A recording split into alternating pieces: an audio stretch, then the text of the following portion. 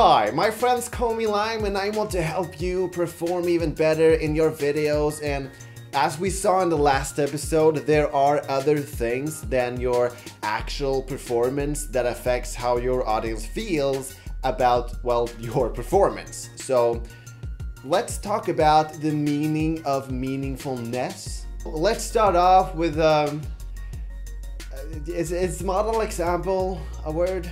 Paragon, a person or thing regarded as a perfect example of a particular quality. Let's start off with a paragon to show you what I mean. This ad sells shoes, and we see a text saying that with the right shoes at work, you'll have energy left over for other things, and everything on this image is there because it gives meaning to the message. We see his work environment, we see his work clothes, we see the car that he drove to work in, we see the bike that he likes to ride in his spare time. Nothing is there by accident, not even the stickers on the bike. Red Bull is an energy drink. And also, everything is dirty. Even this guy is dirty, except the shoes, because that is what they're selling. And it doesn't stop there. The picture does everything that it can to make its target audience look up to this guy. The picture is taken in a slightly low angle, making him look bigger, demanding respect. He has a slightly cocky facial expression, and his hands are placed to clearly show a ring on his left ring finger. Nothing, nothing, nothing is there just because it looks good. It's there because it communicates something. With that said, and I suspect that a lot of people are going to dislike me saying this, but I honestly feel that it needs to be said. A surprisingly huge amount of YouTubers have intros like these.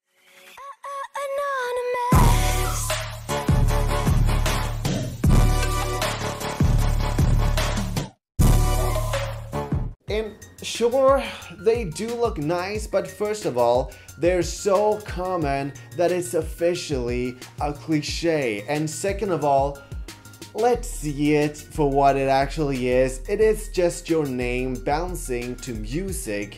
It gives the viewer very little new information, if any. And no, I'm not saying that every little detail has to mean something, but neither do you want your audience to feel like you're wasting their time with meaningless content? Let me show you another reason that you want to think more about meaning. This is a banner that I made for a Sonic the Hedgehog livestream marathon event and what if I added an image solely because it looks good, not caring about whether it's meaningful or not? Do you see what happens? It gets confusing. And yes, it is an exaggerated example, but the point is that ignoring meaning doesn't work in your favor. You don't want anything on your channel or in the background of your videos that makes your audience go, what is that thing doing there? Unless it's, it's a joke. So, your challenge is to put more thought behind the content of your videos, your banner, your thumbnails, your titles, your intros, your backgrounds, and so on. And even if you already thought about it, how can you improve? Does the content do the job? Is there a better way to communicate what you want to communicate or reach the effect that you want to reach? Keep in mind though that not every meaning has to be apparent to the viewer as long as you know what you want to communicate, then you'll still reach a sense of consistency throughout your channel and then you can inspire your audience by explaining these meanings later. So let's look at some solutions. The main trick is to treat the pieces of content on your channel as pieces of a puzzle that all work together to show one cohesive entity in the shoe ad, it was a message, but it can also be an emotion or something else. The point is that they should all work together to create it. With that said, let's start with the intros. Yes, I do understand wanting to present your name, but If that's all you're going to do, then you're better off just showing a name tag in the beginning of your videos. In other words, it is an important puzzle piece, but it just fits better somewhere else. All right, here we go. I got this. Ha! Yeah, that's right. You thought you were going to get away with talking about intros without me? Not going to happen, mister. See, I'm a person who is very particular on how he likes his channels to look. My biggest pet peeve out of all of them are intros. Now you're probably asking yourself, why, out of all people in Freedom Central, would you, the friendly person who sits here every Sunday at 7 p.m. Eastern Standard to supply us information to help us grow our channels here on this network? Shameless plug! Why do you hate intros?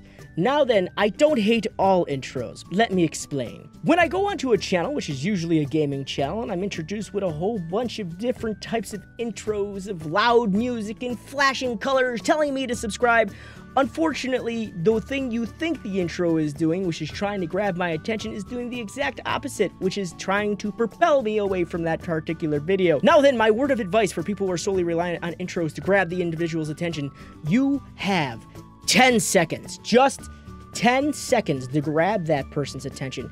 And if you're using all those 10 seconds with a flashy introduction, it's not going to work. You need to find a way to make a person want to stay. Either give them a little taste of what's to come so they'll stick around to see the outcome of that, or give them something fun. Give them something educational. Anything, literally anything, except blare loud music and flashy colors at them. Unfortunately, it just doesn't work. Now then, there are situations where it does work.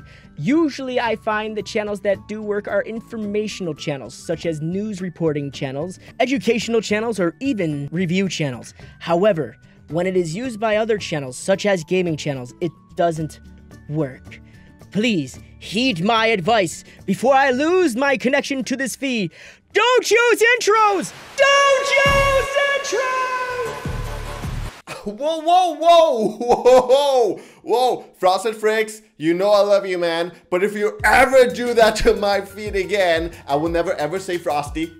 I will wear this at all times, always being warm, and also, you will never ever be able to hack me because it's an antivirus device. Do you see? Because it keeps me from getting cold and getting a cold and hacking. That's the joke. So, let's move on. This was a banner of mine, and I put those numbers there because I use those graphics uh, when referring to my sources in my videos. You know, if you saw the number one, you could go to the corresponding number in the description to get a link to the research. But people started wondering what those numbers were doing there and so I kind of just deleted them because obviously that puzzle piece didn't fit, fit well there. Now, when it comes to backgrounds, again, you don't have to go so hardcore that every little detail has to mean something. Basically, just wanting to create a homemade unplugged feeling justifies any background that you have at home. Myself, I kind of read up on color psychology before I chose this orange background. But what if the point of your channel is randomness? Can you add whatever you want then? Well, yes and no. Yes, because if you have thought it through and decided that it is a good idea to illustrate randomness on your channel, then yeah, that is what you should do. No, because you still have to put work into actually achieving that sense of randomness. In other words, you still have to put some thought into what you add. So basically, give meaning a thought and do that with your audience. Ask them, audience, with your audience, ask them what they think because in the end, you're doing it for them. So that's it for this video. If you want to see me go undercover to see how gay people are treated in some churches, even though that they say that they treat everybody with respect and dignity, then you should check out my channel. There should be a button here somewhere. Thanks for watching. Bye.